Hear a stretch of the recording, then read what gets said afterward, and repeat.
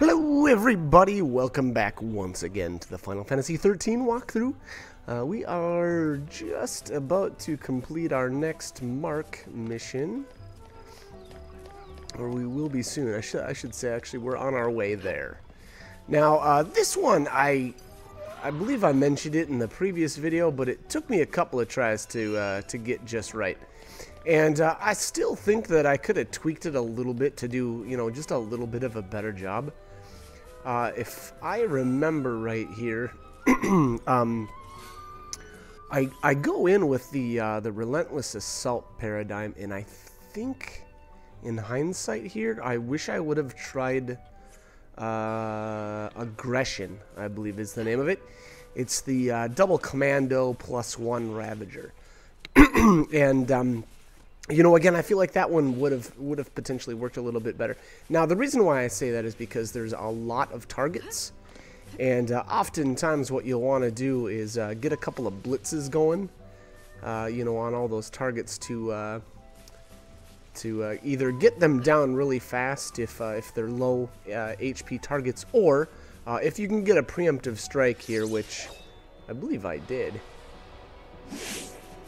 Yeah, all right, so. Um, I don't remember now. Again, now, so I took a cut here, and um, I don't know if I. Yeah, okay. So I do have some shrouds on here. So the, I probably used, if I would, uh, if I could guess, I'd guess I used all three. I would bet that I used, uh, you know, one of every shroud to try to get uh, this this done uh, in a better uh, way. And again, now I really think I should have used um, the uh, sorry the aggression um, paradigm to try to, to, try to get this down earlier. Uh, and again, the reason why is because um, you know you want to get you want to get blitzes out, and the the good thing about that. That aggression paradigm is your commandos will actually target different enemies. And so they'll try to do, you know, maximum damage over the most amount of enemies. And, uh, and by targeting different enemies like that, um, your commandos are able to keep their ch chain gauges up, uh, you know, due to the uh, due to the preemptive strike. So um, that's kind of like the, I guess that's kind of the way I wish I would have done this. Now, obviously, I didn't. I went with um, just the relentless assault, uh, and then um, you know, obviously I've got shrouds on, and that helped out quite a bit too. Now, the really the the goal of of this here is to try to get these these enemies, uh, you know, down extremely fast. Unfortunately, the problem with these uh, is that they they summon these these uh, bigger bigger baddies. Now, um, if if only one, like uh, in this case, the Ugallu Ugallu, whatever, however you want to say this guy's name. Um, you know, if only one of them gets summoned, that's not so bad. That's not the biggest uh, deal in the world. But um, uh, you know, unfortunately, if you if you're swapping around your targets too much, you'll notice that they'll you'll get bogged down by enemies, and uh, you know that that'll happen if uh, the the little what are those things? I believe they're the imp type, or are they? No, I'm sorry. I believe they're technically in the uh, spooks category, which um, interesting name choice there, but uh, uh, anyways. Uh, like I said, so you'll want to get those little guys down first before they're able to summon. And that's really what's going to, you know, determine your success here. The cool thing about this, uh, this Mark mission is actually they give you a ton of time. Uh, and that's and that's because they expect those enemies to be summoned. So, you know, I guess just keep that in mind. You don't have to... You know, do it. you actually don't have to do this uh, crazy fast. You know, if you uh, if you don't want to use shrouds, then um, you know, by all means, don't. Um, and just you know, you can extend out the battle, and you know, there's still a really good chance that you'll hit your target time as long as you're um, choosing your targets wisely and whatnot. But um, for me, uh, obviously, I wanted to get that done extremely fast. I didn't want them to be summoning all kinds of extra enemies to take down and uh, I really wanted to get that five star rating uh, the first time. I didn't want to have to do that uh, mark mission again. So uh, again, that's that's kind of how I went. Obviously, my characters are fairly well developed. Um, uh, but to be honest, you know, I could have done some other things that, that you know, potentially would have helped out. Number one, I, I feel like uh, using aggression would have been a better paradigm to start out in, but you know, again, I, I didn't. So hindsight's 2020, I suppose. Um, and then, you know, on top of that, actually, my characters have some accessories still equipped that probably weren't, uh, you know, the most optimal. You know, the any any of these that uh, are giving a buff that that I got uh, from the Shroud. You know, Sprint Shoes is a good example. The Morale Talisman, and uh, I believe the Blessed Talisman as well. So those are all essentially kind of. Uh, you can kind of argue that they're they're wasteful. Now the Sprint Shoes still synergize with uh, Lightning's weapon uh, for the boost. I believe it's uh, the, those two items are in the boost category. So they're giving her ATB plus 10%, or you know, basically a 10% uh, faster recharge rate. So uh, it's not the worst thing in the world. You know, there's uh, there's definitely worse things, but um, you know, again, if you're if you're having problems with that with that fight back there, you know, again, you can you can make some changes that would potentially I'll make it a little easier. All right, anyways, though, this is Mark 5 uh, Ed Edimu, I think is the name of the, the mark here. And uh, this one's not too bad. I'm trying to remember if this is the one that creates the teleporter. I feel like this is the one. Um, so this Cie'th Stone, once you actually complete the mark, should, like I said, turn into a teleporter. So we'll see if that's the case or not. And um, this is one of the marks I actually want to point out here because uh, it's it's got a, a really good drop. Now, uh, so okay, so just just so you guys know, you know, once again, obviously we, we're getting uh, rewards or one-time rewards for uh, when we complete these. I, shouldn't say that. I should say first-time rewards. Um, all of these mark missions actually can be done one more time but instead of getting that first time reward, they'll they'll give you a different uh, reward for you know subsequent uh, victories. Uh, in, many cases, it's it's uh, it'll be you know some sort of upgrading material. Uh, a lot of you know like bomb bomb shells and bomb cores are very very common uh, as the secondary reward. but anyways, this enemy itself, though the Edimu, uh, again, hopefully, hopefully I'm saying that right. Uh, I guess it doesn't really matter though. But uh, anyway, so he's got a uh, a drop, uh, and I believe I end up getting it. Um, so uh, sorry, he's got. There's actually two drops. So one is obviously the common, one is the rare. I believe the rare is the nimble toe shoes. Now those. Those are those are pretty okay. I mean, well, to be honest, I don't really don't use them that much, but they're good. And they what they're actually going to do is increase um, there's an ability that the Sentinels get, or certain Sentinels anyway. I know Lightning is one of them, and I believe Hope is another. Um, and uh, that actually is going to increase the effectiveness of that uh, specific skill. I believe it's Elude, uh, Elude and may possibly even Evade, if I remember right. So, um, you know, if you've got a favorite Sentinel or, uh, you know, a Sentinel that you need those for, then I guess you could farm them. Now, that being said, I, I'll, I'll be completely honest. I would not recommend farming uh, the Edimu.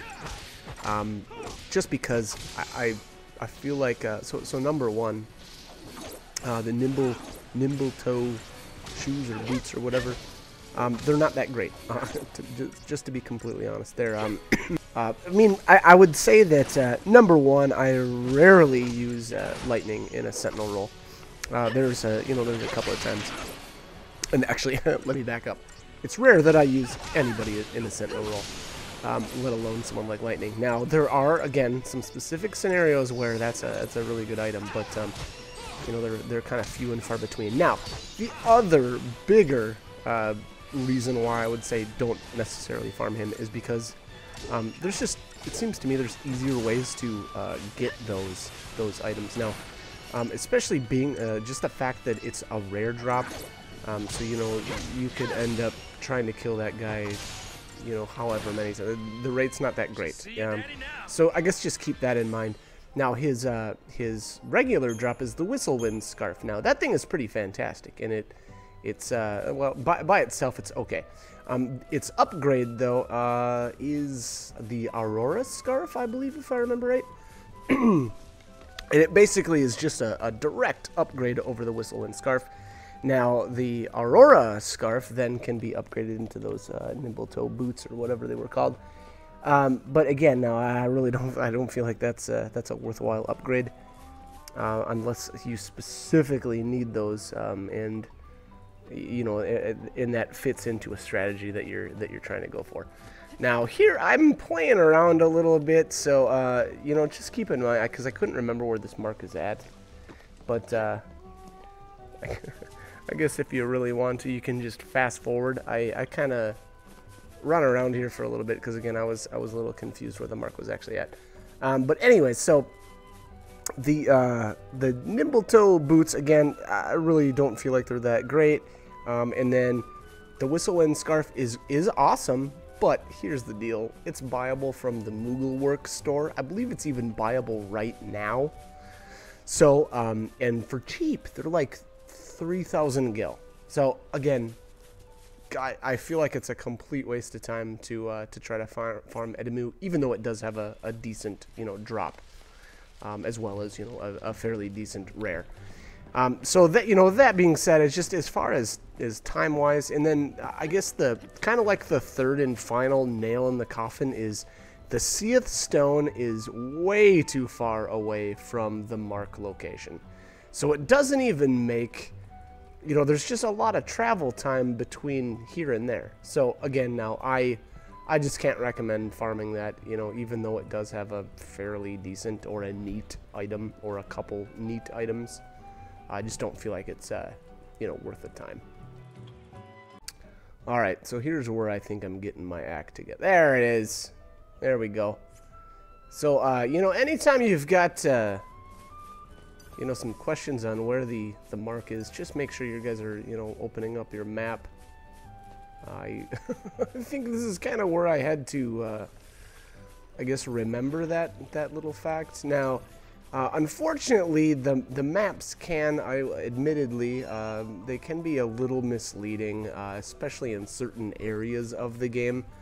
Uh, you know, Arclight Step is fairly cut and dry, but you know, just because there's there's so many marks that are actually there, uh, but there's also a lot of maps that aren't. You know, that'll that'll start in one zone and kind of end up in another. So, um, you know, unfortunately, with that stuff, it, it may be worthwhile to just, uh, you know, I think actually what I'll do is I'll do a bunch of um, uh, guides back to back. I'll just do all the marks, you know, from one to I don't remember how many there are, 60 something, I think.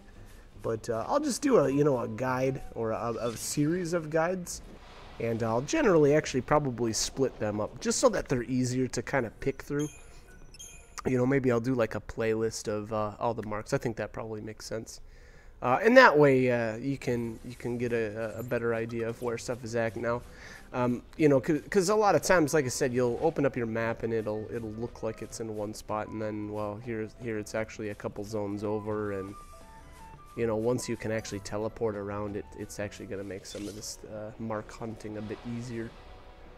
Uh, but anyways, alright, so this is him. This is Edimu, and uh, I actually got extremely lucky here. I got myself a, a Whistle Wind Scarf for this victory, which, you know, again, crazy, crazy lucky. And uh, actually, there's another guy that I'm actually going to uh, definitely recommend farming, and uh, I got his drop right away as well. So, um, you know, that's uh, that's kind of one of the, the cool things about these uh, doing these guides is sometimes it works out and you get the drop, and you know that way I've got footage of it, so it's like, hey, check out this cool stuff that you can get. But, here, I think I may end up redoing this. This is not looking good. Yeah, yeah. Let's let's uh, let's redo that.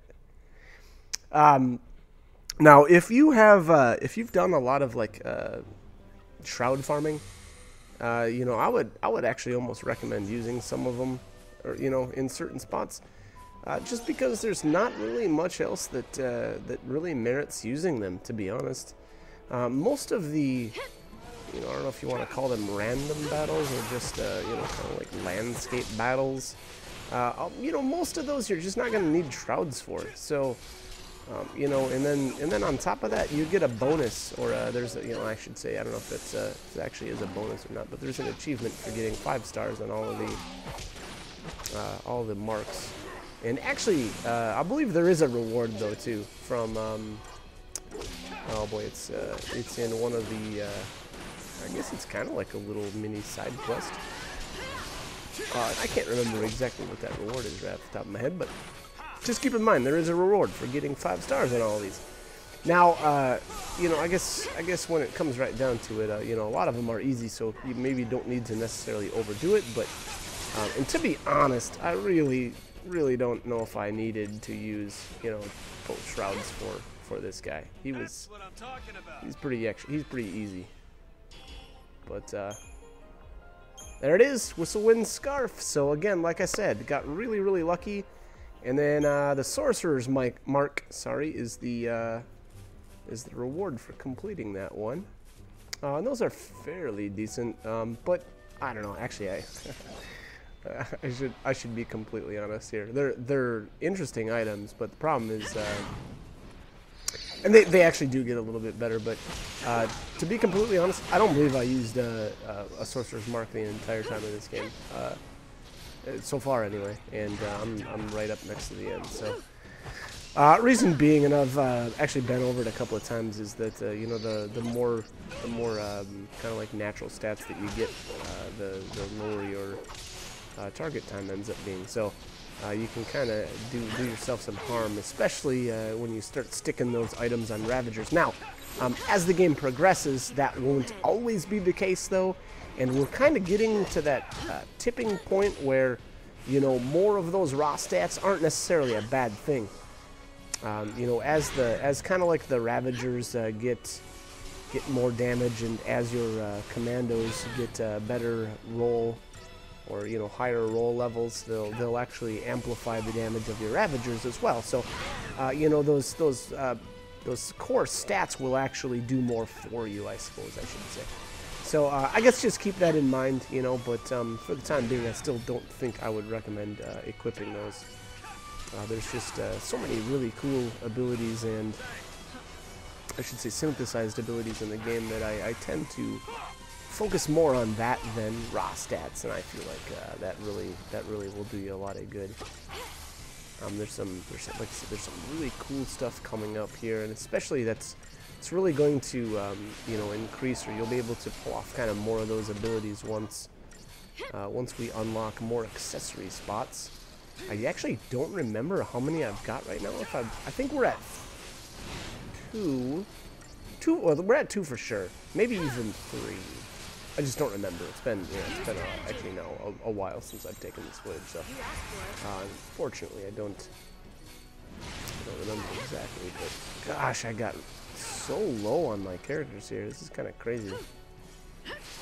But I guess that's the, the danger with these Svarogs. They're pretty beefy and they do decent damage, so. Wow, and I still only ended up squeaking out a three star. But yeah, that's a that's a tough fight though. I mean, the Triffids uh, debuffing at the at the beginning of the fight is uh, kind of what makes that so dangerous. And then here, obviously, there's some behemoths cruising around, but I'm I'm just skipping all those. I just think I mentioned it before. I really don't feel like those are worth fighting. To be honest, those Svarogs really aren't worth fighting either right now. They're just, the, you know, the the problem is the well, you know, if you want to, go ahead. But uh, I, I always feel like the the rewards for that kind of stuff just really isn't worth it. They give you, you know, like some organic materials, and I don't know, organic materials aren't really worth much anyway. So typically aren't worth much, and it's not. That's not always the case, but. All right, anyways. All right, so yeah, I was right. All right, so that uh, that opens up this teleporter for us now. So um, I guess just keep that in mind. Now we'll be able to um, teleport between certain areas. Now, actually, it looks like, is this the first? Yeah, I think this was the first. yeah. So that was the first teleporter that we uh, we actually opened up. So um, unfortunately, we can't teleport anywhere else because That's the only one, but um, that'll that'll change here in a little bit too. Once we start, uh, you know, getting some more of these done. But I just, I, I guess, just keep that in mind. And uh, if you pull up your map, uh, the teleporting Cie'th stones will be yellow on your map, whereas you know the other the other type will be blue, uh, or that that is if they're. I think how it works is if they're flashing, I believe that's an active Cie'th stone that you haven't completed yet uh, one that is not flashing uh, is a Cie'th Stone that uh, has been uh, completed. Uh, and then the gray ones are the inactives, so that you know that always means that uh, you have to complete something else first. Being a, actually, I should say it's a it's another mission that you'll have to you know complete first, and then those will open up. But uh, anyways, all right, so we're gonna continue on. I don't remember exactly the area that we need to go to here. Okay, I guess I gotta pause for a little bit. Let's see how long this is. Alright. I didn't have to make any cuts there. It wasn't too long. What I was doing. uh, and you'll see around this area is where I really tend to start trying to avoid uh, enemies. Really just because, uh, you know, kind of the same same reasons as earlier. My characters were actually fairly developed, and uh, the CP rewards as well as just the like the enemy drops here are just not that great. So uh, you know that's that's kind of what I start to do is try to try to avoid what I can, try to sneak around some enemies. Some some I try harder than others. You know, sometimes you'll just see me go barreling into the middle of of enemies anyway. But uh, you know, for the most part, at, at certain points here, we'll just be trying to avoid some stuff. Uh, the hybrid flora here are the the enemies that are, I believe they're immune to physical attacks. So uh, this actually gets a little dangerous because lightning is extremely low, and I don't think we are. Oh, okay, so they are gonna launch him, kind of. Um, this I don't remember, or this may be the first time uh, we've seen this, but there are also, you know, there are certain spells that will launch enemies as well. I think they're typically the, I don't know if they're the two ATB segments or if they're only three, but um, they'll actually start to kind of launch the enemies as well. So that's kind of one cool thing too, because that means that you don't necessarily need uh, a commando all the time to launch an enemy. So you know, I guess just keep that in mind. I, I still feel like, you know, commandos are the best way to do it, but uh, Ravagers can do it to, to a certain extent. So I guess, you know, again, keep that in mind. But um, that hybrid flora, uh, Snow was not bothering to use launch at all. So again, now, I don't know if that means that uh, because they're immune to physical damage, um, maybe they're immune to launch too. I'm not really sure, but um, you know, I guess that's the other thing. You have to you have to know not everything is uh, susceptible to being launched either. So, uh, anyways, all right, let's continue on. So this is kind of a new area. Um, back there and to the right was actually where we fought that uh, the mark with all the all the little the little guys that can summon. I always forget. There's so many different um, you know enemy names.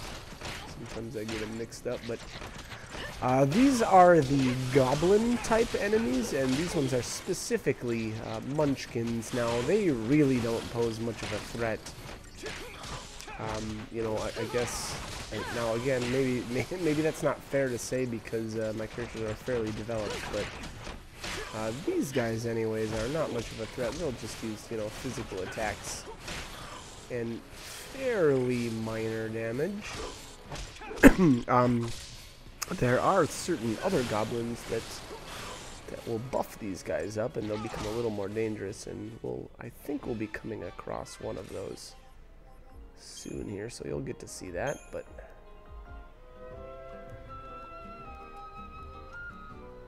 all right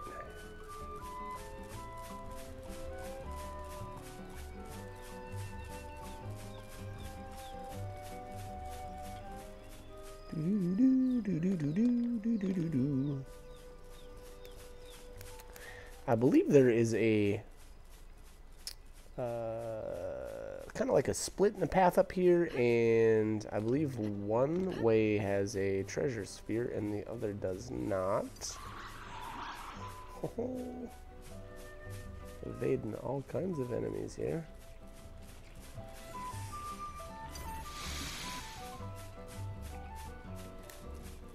Let's see. Let's see if I'm right here. I think it's actually... Nope, nope, I was wrong. It's not right there. Just the worst. There, there it is. All right. All right, so here's some more of these guys that can summon. Now we'll see if they actually get get to summon anything or not. Hopefully, I'm able to take take them down fast enough. This is another good example, though, of a um, of a fight that would be a really good, uh, or uh, where aggression or the aggression paradigm would be a really good choice.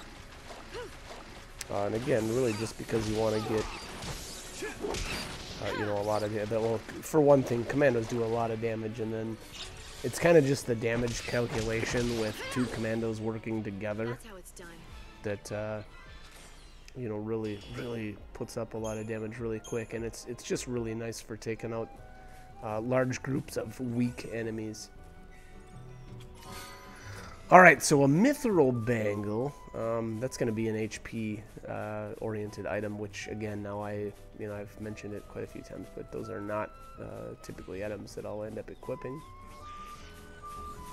So, uh, yeah, can't really endorse those. Oh, and okay, so there isn't any other uh, of the the other style of goblins, or the ones that will buff buff the little ones. Maybe on that other path. I'm not really sure. It's I don't think I've actually been down that other path now that I think about it uh, in this playthrough.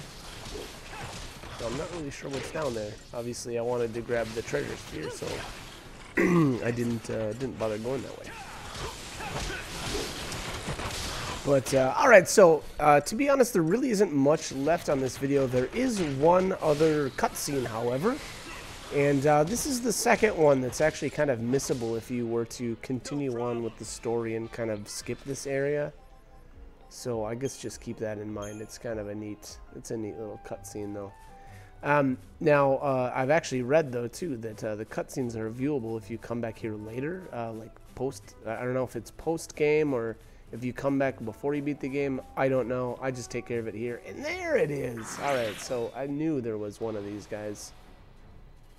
So this is, I believe this is the Munchkin Maestro, and uh, I would, I would definitely say take him down last, uh, just because uh, really all he's going to be doing is buffing the little guys for the time being. So you don't really want to, and he's really tanky. So you know if you try to take them down first, they'll just buff all the little guys, and you'll just end up taking a, a bunch of extra damage throughout the fight.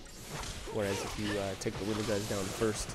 Um, the, you know you'll you'll eliminate those sources of damage and, and uh, you really won't have anything to buff anyway. So uh, again, I guess that's how I recommend taking out uh, uh these formations. Now uh, I'm gonna cut the commentary though here. Like I said, there's a we've got a, another cutscene coming up here, and um, you know again now I, I don't remember. Uh, I've read in certain places that it's it's missable, meaning that um, well I mean missable means missable, right? You can't ever see it again. So. Um, again, again, I would guess that's why I kind of suggest coming this way first anyway. But, uh, all right, anyways, I'm going to cut the commentary here. So I hope this guide was helpful, and I uh, hope you guys all join me for more. So thanks for watching.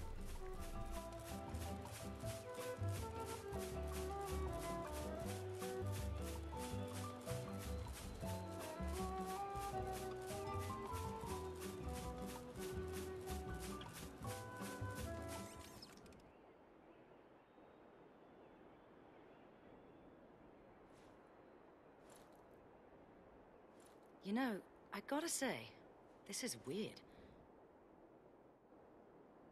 When we were young, we were always taught that someday we'd be attacked by the demons of Cocoon. And look at us now, waltzing back into Oerba, with the very people we were chosen to take up arms against.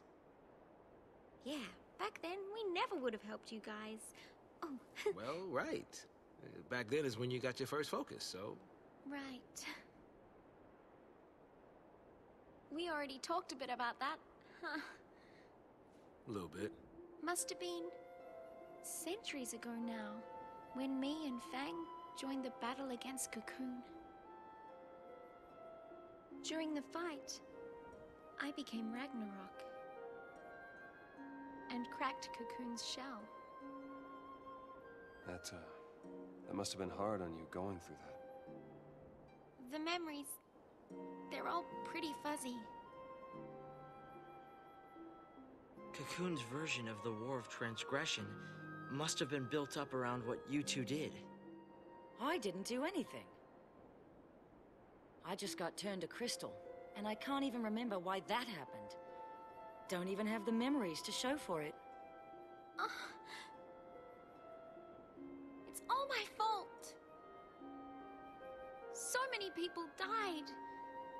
Because of me.